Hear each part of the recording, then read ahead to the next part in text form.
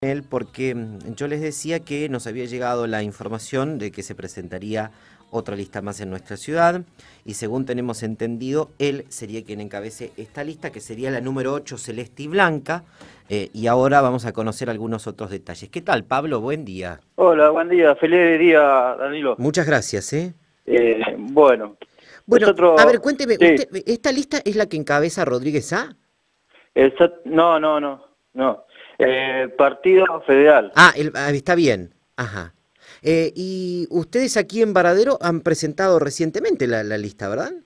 Sí, sí, porque estuvimos juntando gente que somos gente, eh, todos vecinos, Ajá. ¿viste? Que siempre estuvimos trabajando y ahora queremos trabajar con los barrios, ¿viste? Porque los barrios eh, están muy abandonados.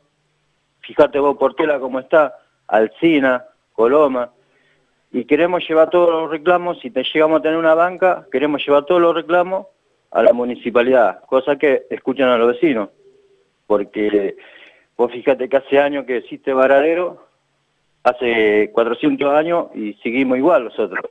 No, no hay, no hay cambio para nada, no, no hay trabajo, eh, cada vez menos trabajo, cierran la fábrica y Vos fíjate que las fábricas que vienen acá a Varadero, eh, siempre las más grandes se van, no sé por qué motivo, sabiendo que le puede dar trabajo a la gente. Y mm, dígame, eh, Pablo, hay en, lo que estuvimos viendo en la lista, bueno, muchos vecinos conocidos, algunos de ellos incluso eh, personal municipal, ¿verdad? Sí, sí, son gente que trabajan con nosotros, les gustó las ideas que tenemos, y quieren trabajar con nosotros. Eh, acá estamos en democracia, todos pueden decidir, ¿no? Eh, digo, ¿y por, qué se, por ahí se tardó tanto en, digamos, en dar a conocer que, que ustedes iban a participar, eh, Pablo? Porque la verdad que nos enteramos recién ayer de, de, que esta lista ya se había presentado y que ustedes estaban trabajando en este espacio. Porque primero queríamos trabajar a ver que buscar las personas para poder trabajar, que sean las corretas, ¿viste? Las que conocemos los lugares, los barrios más humildes. Las casas, hay gente que necesitan muchas cosas eh, en las casitas, que están muy abandonados, que le prometen, pero no cumplen.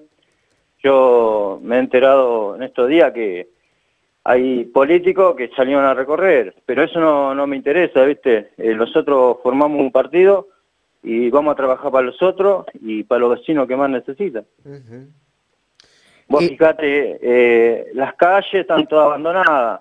Vos pasás para atrás la estación, no tenemos cloaca, eh, no hay arreglo de calle, eh, te promete una cosa, vos esperás y pasan dos o tres meses, volvés ahí, te vuelven a prometer y ya se cansó la gente de eso. La gente quiere que quieren pagar los impuestos pero que le cumplan, ¿viste?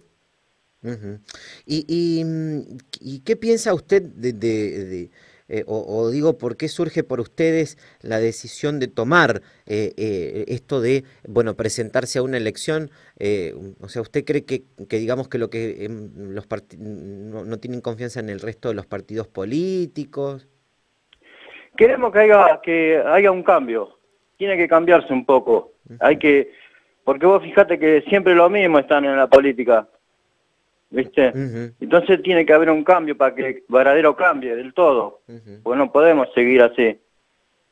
Vos fíjate que no tenemos hospital, vos vas al hospital, pedís un remedio urgente para ayudar a alguien que necesita mucho y no, no tienen nada. Está bien, están haciendo algo bueno que están agrandando el, hospital, pero vos vas, te atienden mal, no tenés remedio, no tenés una valla aspirina, no tenés nada. Eh, una sola clínica en Varadero que vos vas y está siempre lleno que no da abasto. Tiene que haber una, una clínica más, ¿viste? O sea, los ejes de campaña de ustedes serían la salud. La salud, eh, trabajo, eh, eh, seguridad también, que seguridad está, está media jodida también, porque yo soy de barrio y recorro y veo todo, ¿viste? Entonces, esas son las tres cosas más urgentes que tienen que cambiar Varadero. Eh, ¿Y dónde están trabajando? ¿Ya tienen un lugar físico donde están trabajando, Pablo?